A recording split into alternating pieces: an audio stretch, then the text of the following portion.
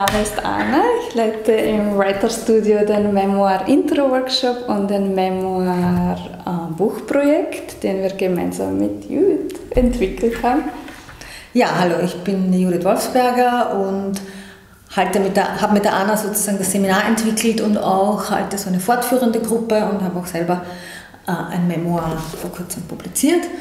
Und wir erzählen jetzt ein bisschen was über dieses Genre und das Seminar. Ja, ähm, der Workshop Memoir hat sich für mich so organisch äh, aus dem Short Story Workshop entwickelt, weil ich gemerkt habe, dass ganz, ganz viele, die auf autobiografischen Erlebnissen basierte Texte geschrieben haben, also dass das die stärksten Texte waren und dass ganz viele, die in unsere Seminare kommen, dieses Bedürfnis haben, also zuerst das Erlebte zu verarbeiten, bevor man überhaupt fiktiv schreiben kann oder will. Ähm, und gleichzeitig habe ich die Entdeckung gemacht, dass die spannendsten Bücher für mich, also die, die mich immer schon sehr bewegt haben, eigentlich Memoirs waren. Ich habe es nur nicht gewusst, weil bei uns im deutschsprachigen Raum diese Bücher in den Buchhandlungen bei den Romanen zu finden sind. Also Memoir als Wort, als Begriff ist bei uns erst im Kommen. Ähm, aber es tut sich was. Also auf den Buchmessen in Frankfurt und in Leipzig äh, wird jetzt langsam diskutiert darüber als ähm, ein Genre, das im Trend ist und langsam landen jetzt auch bei uns die Memoirs auf den Bestsellerlisten. Also ich sage im Seminar immer, Memoirs sind in den USA schon lange das meistverkaufteste Genre. Memoir ist für mich der bereicherndste Workshop von allen Workshops, die ich halte. Also für die Schreibenden, aber auch für die Lesenden. Die Teilnehmer, Teilnehmerinnen im Workshop wundern sich immer, wie schnell wir da in die Tiefe kommen. Also wie schnell wir zu den Momenten im Leben der Einzelnen kommen, wo es um Erkenntnisse ging, also wo es große Erkenntnisse gab, wo es eine große Veränderung gab oder wo eine Transformation passiert ist. Und das sind die spannendsten Sachen zum Schreiben. Also wir haben uns überlegt, wir zeigen ein paar Beispiele, was ein Memoir ist, weil dieses Wort bei uns so neu ist und äh, diese Bücher, die es ja schon lange gibt in verschiedenen Sprachen, bei uns zumeist als Romane verkauft werden. Äh, wichtig möchte ich, äh, ich möchte auch noch betonen, dass äh, ein Memoir keine Autobiografie ist. Also es ist, ist weder ein Buch, das irgendwie von der Geburt bis, zum, bis zur Gegenwart äh, alles erzählt, noch muss jemand berühmt sein, sondern es sind Bücher von relativ normalen Menschen, die über einen Aspekt ihres Lebens oder eine Geschichte ihres Lebens, einen, oder einen Ausschnitt. einen Ausschnitt ihres Lebens erzählen. Ich möchte ein Beispiel zeigen, das vielleicht manche als Jugendliche gelesen haben. Das ist schon in den 70er Jahren erschienen, als Hitler das rosa Kaninchen stahl von Judith Kerr. Das war eigentlich eines meiner Lieblingsbücher als so ungefähr Zehnjährige und ist eine Geschichte von einem Mädchen, das aus Berlin mit ihrer Familie flüchtet vor den Nazis nach London. Und mich hat das wahnsinnig fasziniert, auch die Folgebände. Und ich bin eigentlich erst jetzt drauf gekommen, dass es ein Memoir ist. Dass das die autobiografische Geschichte der Judith Kerr ist, die nach wie vor in London lebt und Kinderbücher illustriert und eben als Jugendroman mir verkauft wurde, was ich sehr schade finde, dass mir das nicht gesagt wurde, dass das eine wahre Geschichte ist. Das, hätte einen Unterschied gemacht, oder? Wenn ja, du es gewusst hättest als Kind oder ja. als Jugendliche. Ja, ich finde vor allem auch für die Judith Care ist es irgendwie so zu tun, als mhm. das so, dass das so verborgen wird. Ja? Mhm. Das sind wahre Geschichten und diese Menschen mhm. leben auch heute. Das macht es noch einmal eindringlicher. Ich habe ein anderes Beispiel da. Ich weiß nicht, also wir haben das in der Schule gelesen, ein großartiges Buch und ich bin 20 Jahre später drauf gekommen, dass es ein Memoir ist. Und ich bin mir sicher, dass von dem auch die Stärke des Buches, des Textes daherrührt.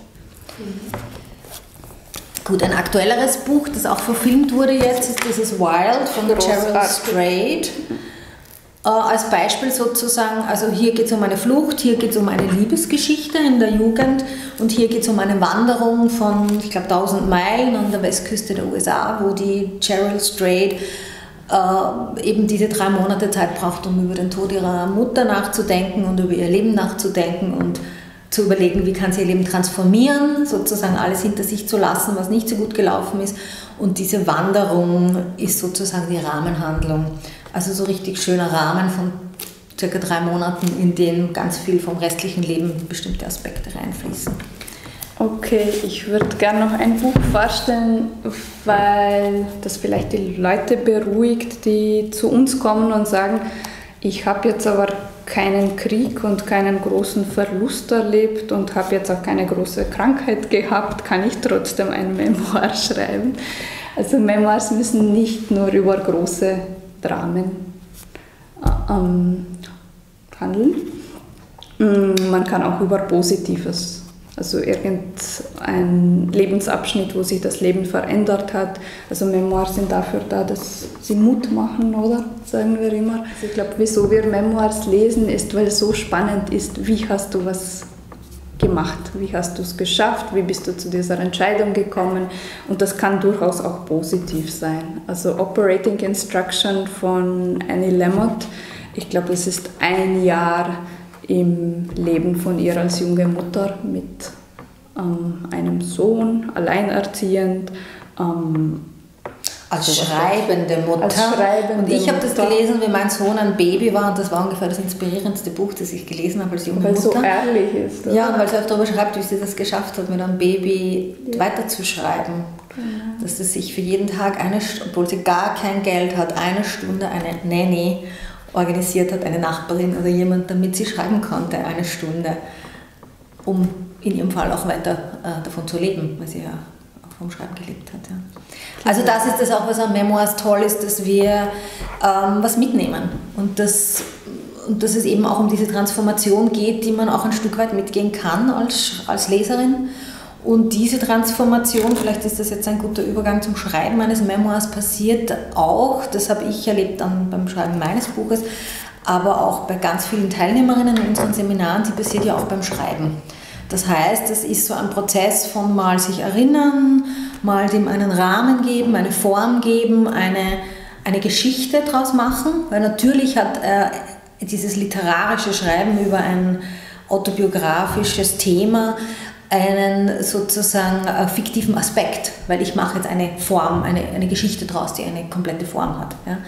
Ähm, und das alleine ist schon transformierend, eine, das niederzuschreiben und ihm eine Form zu geben, aber auch diese Auseinandersetzung mit mir, mit den verschiedenen Aspekten dran oder verschiedenen Möglichkeiten oder Unmöglichkeiten und was ich geleistet habe, um irgendwie daraus rauszukommen. Das ist auch das Klassische an dieser mhm. Memoir-Form, dass es nicht sozusagen von der Depression in die tiefere Depression, in den Absturz geht und hier ist das Buch aus, Gerade sondern umgekehrt. umgekehrt, ja, sondern dass wir am Ende zumindest irgendeine Erkenntnis haben, wie man etwas im Leben übersteht. Ja. Vielleicht möchte ich dazu sagen, dass das Schreiben von einem Memoir einfach dauert. Also das wird nicht in einem halben Jahr fertig, es wird meistens auch nicht in zwei Jahren fertig. Ähm, und deswegen hat es auch diese also es gibt Zeit, dass diese Transformation stattfindet, also die das Schreiben auslöst. Mhm. Ähm, in ganz dem ersten Workshop haben ganz viele Teilnehmer die Sorge, und was ist, wenn das meine Mutter liest und was ist, wenn das mein Ex-Freund liest. Und ich sage immer, schreibe es einfach für sich, also bis, schreibe es einfach für dich, bis dieses Buch fertig ist und auf dem Markt ist, hat sich so viel getan. Ähm, und das können die, die meisten sich nicht vorstellen. Also es hat sich nicht nur was in deinem Leben getan und bei diesem Text getan, es ist irgendwie magisch, es ist so, als ob dieses Schreiben auch die Beziehungen transformiert. Genau. Zum Thema Zeit möchte, möchte ich mhm. was sagen. Ich stelle ja in meinem Buch ähm, nicht nur meine Reisen auf Virginia Woolfs Spuren und auch diese Frage, wie können Frauen schreiben in den Mittelpunkt, sondern auch letztlich meinen eigenen Schreibprozess des Buches. Ja. Und da kann man auch mitverfolgen, dass das ungefähr zehn Jahre gedauert hat, dieses Buch zu schreiben. Ich möchte damit niemanden motivieren, weil es war unglaublich spannend und es hab, ich habe dazwischen viel anderes geschrieben. Ich habe letztlich begonnen in dem Short Story Seminar bei der Anna und in den Travel Writing Seminaren, die ich mehrmals besucht habe, weil ich da begonnen habe, über diese Virginia Woolf Reisen zu schreiben und ja, diese Essays. Das Buch beginnt ja mit wunderschönen Reiseberichten. Genau, das ist sozusagen der Beginn und dann mhm. wurde mir klar, da ist so viel mehr drin als nur eine, eine ein Artikel für ein Magazin. Mhm. Und ja, und dann habe ich Memoir-Workshops, mehrere in Amerika besucht und Personal Essay-Workshops und einen überarbeiteten Workshop bei der Anna und viele Schreibtreffs und Schreibteams. Also ich war eigentlich fast nie allein beim Schreiben dieses Buches und, und darum geht es ja auch in diesem Schafft euch Schreibräume, dieses Schaffen von gemeinsamen Schreibräumen, wo gutes, freundliches Feedback stattfindet und wo auch dieser Austausch von diesen autobiografischen Texten ja auch so was Magisches ist. Dieses Teilen von Texten, das ist jetzt keine Selbsthilfegruppe, aber wir wissen, wir hören uns zu und wir wissen Bescheid und wir, man merkt dann auch sehr schnell, dass wir alle doch irgendwie auch Geschichten haben, die bisschen ähnlich sind oder einander berühren. Und das ist auch das, ich glaube, das wichtige Moment vom Memoir, ich glaub, das dass es berührt. Es ja? berührt und es ist erst in den Gruppen, dass viele merken, ich habe Themen, die interessieren mhm. und die nicht selbstverständlich sind und, die, und vor allem kommen Leute drauf, ich habe nicht ein Thema, ich habe Themen für fünf verschiedene Memoirs. Also das kann ich fast jedem garantieren. Also die Leute, die mhm. in den Workshop kommen und einfach zweifeln, mein Leben ist nicht interessant. Und dann mit den fünf Themen ist eher die Schwierigkeit zu fokussieren, weil genau. ein Memoir ist eine Geschichte und es gibt und auch so nette Bücher, wie zum Beispiel von der, die haben wir jetzt nicht mit, von der Amelie Nothomb, die so 100 Seiten haben. Jetzt habe ich gerade wieder gelesen, wo sie über eine Reise, die sie vor kurzem nach Japan gemacht hat und mhm wie sie wieder ihren ehemaligen Verlobten getroffen hat und ihre Nanny getroffen hat. Und das ist eine fantastische Geschichte in 100 Seiten, sehr fokussiert, sehr berührend, sehr weise. Ja. Aber auch das schafft Feedback. Genau. Einfach zu sagen, wo ist das bei dir interessant, mhm. wo ist bei dir der rote Faden. Ich habe das Gefühl, bei dir gedreht es sich immer um dieses Thema und das ist das Spannendste. Mhm. Ähm, also das sieht man selbst nicht im eigenen Leben.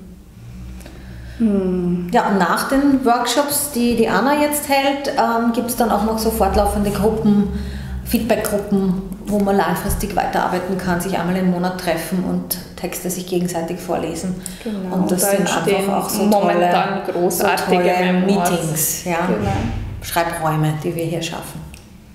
Also, ein Memoir für alle, die am Schreiben interessiert, unter anderem.